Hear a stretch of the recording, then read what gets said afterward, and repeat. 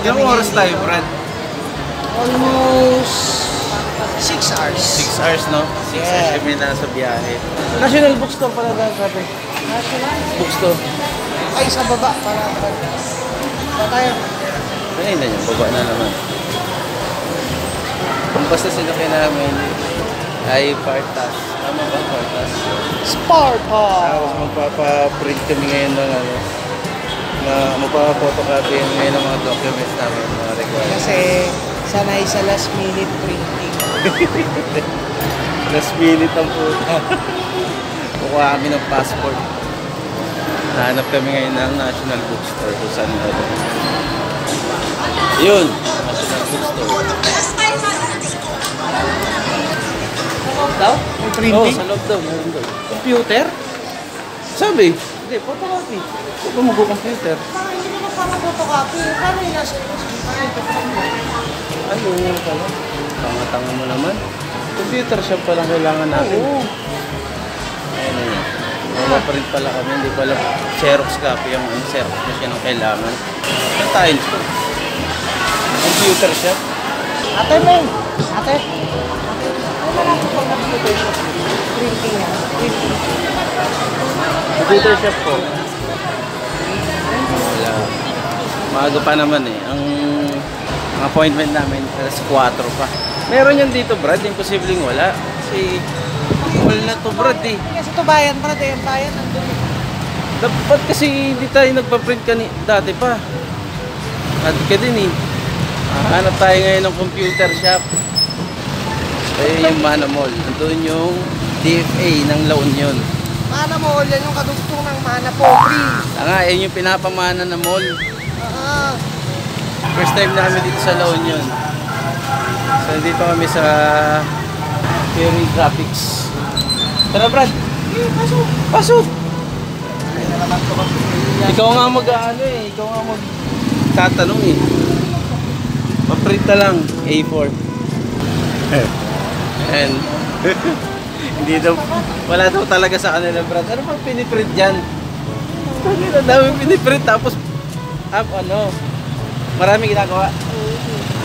Tinuro ulit kami sa tapat ng Mana Mall. Ang hirap maghanap ng computer shop dito.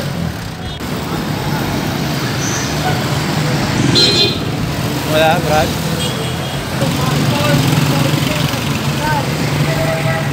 Wala naman tao. Yun, may tinuro sa amin dito daw sa kabila. Naghanap kami ng computer shop. Yun! Thank you, boss. So, yun, nakakita kami dito. Woo! Tagong-tago. Ayan, o. At pataas pa. Second floor pa. O yun, meron dito. So, ayan. Meron dito. Kasi USB. Saan ba? Alis ang kopya muna. Tagalin mo na ito resibo, Brad. Ah, print tsaka Xerox. Pero Xerox muna. Hanapin mo na yung USB. Ito type isang kopya. Video pa tayo. So, ayan na, Brad. I-print na. So, ayun, nakapagpa Xerox and print na kami ng mga documents. Smoke time. Gago, Brad, bawal ata dito. Yun. Nahanap kami ng Yosihan. Yosing Yosi na yung tropa ko eh. So, nandito kami sa tapat ng Mana Mall. Pupunta kayo dito sa La Union galing kayo ng Manila para magpakuha, magkumuha ng passport. Nakalimutan yung magpa-photocopy ng documents. Okay lang kasi meron dito. Nasa second floor yan. Sa tapat ng Mana Mall. Ayun yung Mana Mall sa, sa tapat. At mag-smoke muna kami. Ang appointment namin is is 4 p.m. Stress pa lang ngayon, sumaga-aga pa. Ah, Brad? Brad, upuan. Upo ka, pagod na pagod ka eh. Kaya naman ako sa Brad eh. Pagod kaya, Brad. Ay, na anim na oras ba naman sa biyahe?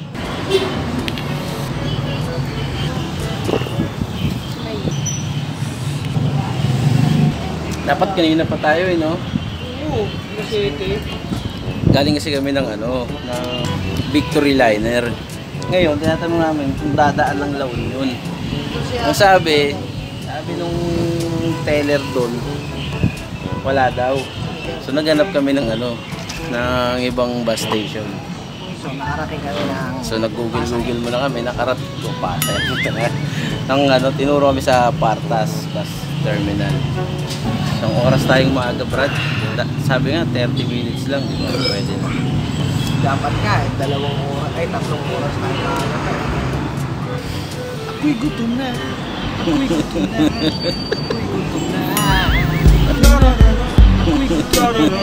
Mauli na.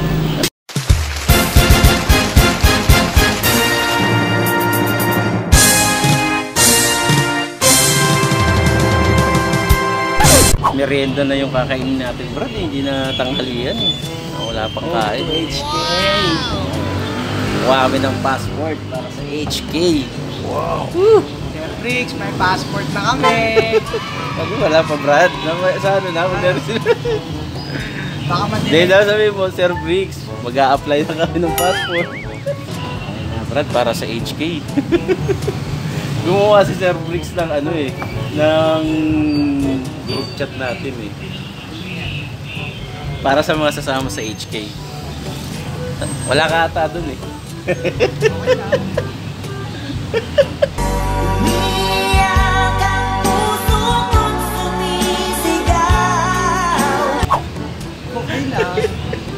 Isang libong card lang naman yung dala niyo. Dali lang mo.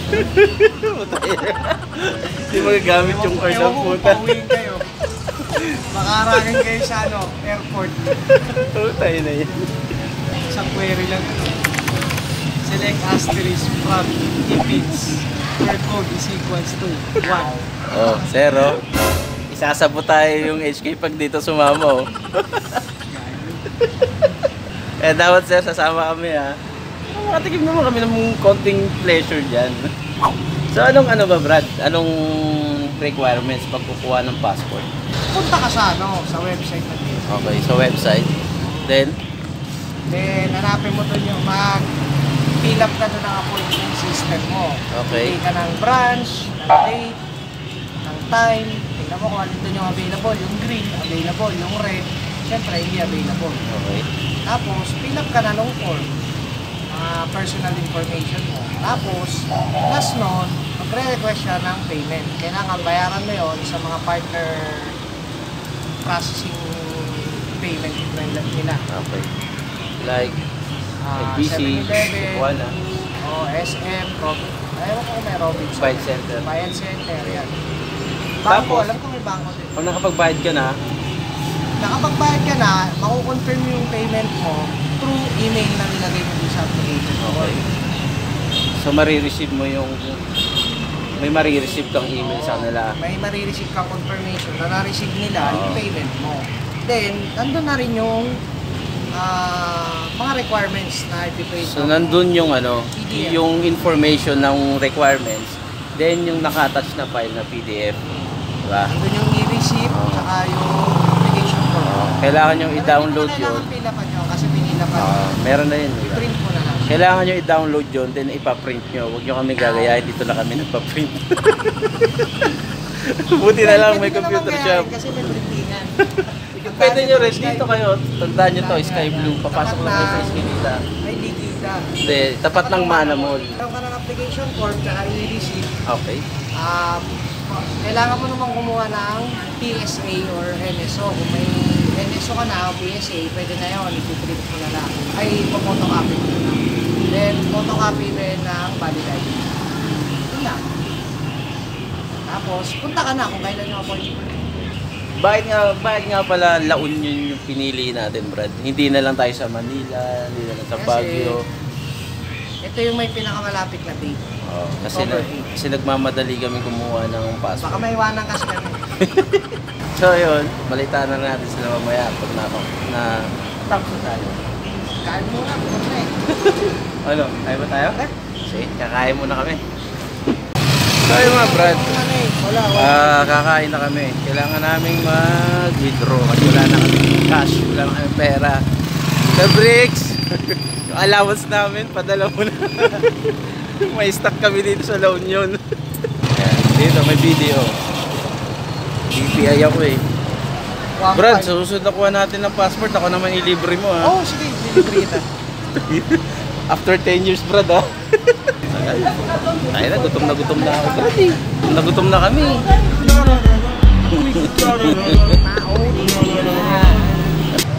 Kakain, Brad? Chick boy? Boy, parang mangilas din naman yun. Boy. Meron pa kami 30 minutes para kumain. Nandun yung ano nila yan. Bigat. Dito kami sa Chick Boy kakain. Try namin dito. Order natin, Brad? Same.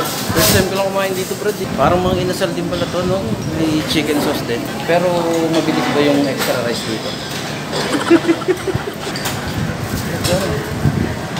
Sige, ano ba yan? John?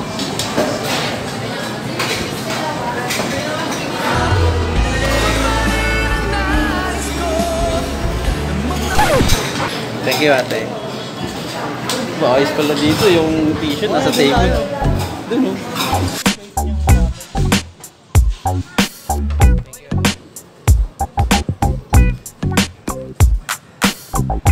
So ayun, nandito kami sa Chick Boy. Kakain muna kami. Andy rice. One rice daw. So masarap naman yung lechon ng Chick Boy. Usually sa Mang Inasal kami. Favorite namin Mang Inasal. Pero masarap din pala sa Chick Boy. At in fairness, yung sabaw nila hindi lasang medyas. Nakating ko na ba ng medyas, Brad? Titignan natin kung mabilis yung extra rice nila. Brad, tawag na. Ayan na. Di ba mabilis? Sponsor. Oo, extra rice. Isa lang po yan. Thank you. Thank you. So, kahit ulit.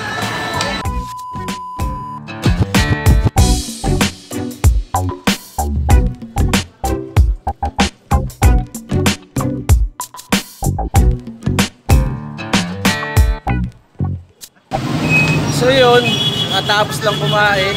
Woo! So yun, nakatapos lang kumain. Tag two rice lang. Tag two rice lang kasi mahirap na. Mahirap na madali. So yun, nakatapos lang mag-yosi. Papalik ulit kami ng Mana Mall. At pupunta na kami ng DFA. Boss, saan yung CR dito? Sa dulo daw, Brad. CR muna kami.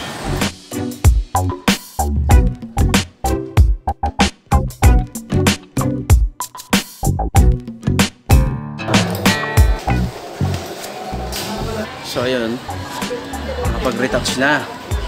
Pogi na ulit si Tall Pits. Saan tayo Brad? Second floor? Dating nga second floor sa left side. Busog na yung tropa ko, hindi na nagsasalita. Busog ako talaga. Busog na, parang tulog na eh. Doon, wala nang tao. Wala na tao Brad. Wala naman talagang tao. So ito na yung DFA. Ayan. Ang schedule niya ngayon 4 to 5 p.m. So yun, parang konti lang yung tao. May pipila pa ba tayo, Brad?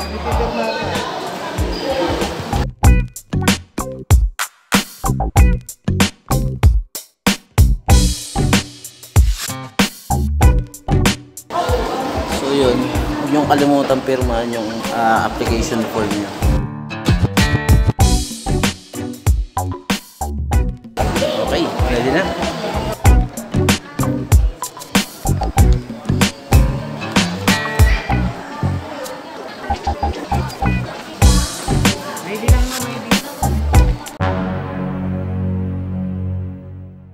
So ayan mga brad, siya okay na. Ako, yung passport ko, hindi pa. hindi tinanggap yung birth certificate ko. Nagaling PSA. Tayo na kasi yung nag-fill up ng birth certificate niya. Tayo naman mag-type, ano, typewriter. Kasi handwritten lang yun sa akin sa PSA ko or sa NSO. Pero yun, yun talaga lagi nakukuha ko eh. Pagkukuha ko ng birth certificate. Eh. Baka kasi yung pinasa mo dati, malinaw-linaw pa. Hindi, ganun din Brad. Parehas lang din. Kasi Brad, Central naman yung ano nila eh. honestly Brad yung Aquino, hindi ko na talaga mabasa. Ano na Ano siya? siya bagay handwritten yun eh. So, pag kayo, siguraduhin yung top typewritten yung kung ano nyo. Hindi, kung handwritten yan, malabo, kumuha na kayo ng ano, certified true copy sa local. Okay. Well, ano yun? LC, LCR. LCR sa munisipyo. Para, Munisipyo, munisipyo lang. Oh, tapos, kung basa yung passport nyo, isa pa, dalawa kasi yung New, problema mo sa akin. mutilation. Mutilation. Ewan ko, tama yung pronunciation. Mutilation nata, mutilation. Yun, una, kaya hindi tinanggap yung application ko. Tawanan ako. Ay na, buti pa siya oh. Salamat sa pagsama mo sa akin, Brad. Sinamahan ko lang talaga siya eh. Talagang tunay na kaibigan, Brad. Yun, una, kaya hindi tinanggap yung application ko kasi Pili ba na ako? ah, malabo yung, yung birth certificate ko na galing ng PNSA o ng NSO, malabo talaga ever since. Pero dati naman, tinatanggap naman nila eh. Tinatanggap nila yung application ko, nakakuha nga ako dati ng ano eh, ng, ng passport, yung una kong passport. Natanggap naman nila. Ewan ko lang ba't ngayon siguro nagbago na kasi isang ID na lang din yung kinukuha nila. So pangalawa, So maggulo, nag-vlog ako dito ah. Ngayon nga, so, passport ko nabasa. Hindi ko alam kung bakit nabasa yun.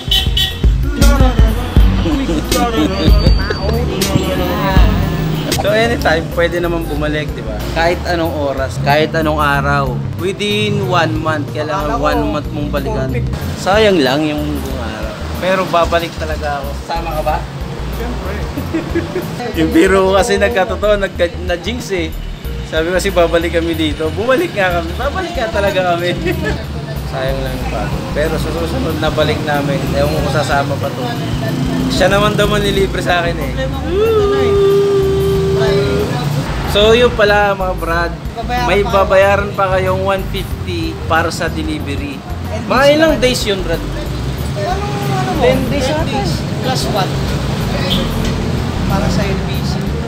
So yun, hanggang dito na lang ang ating vlog. So yun, hanggang dito na lang masyado na mahaba yung pinag-uusapan natin. Basta babalik kami dito sa La Union para kumuha ulit, mag-apply ulit. Babawi kami. Tapos baka mag swimming na kami. Kasi wala naman kaming ano eh, oras ng application eh. Pwede ka nang bumalik anytime. Dito lang mga brad.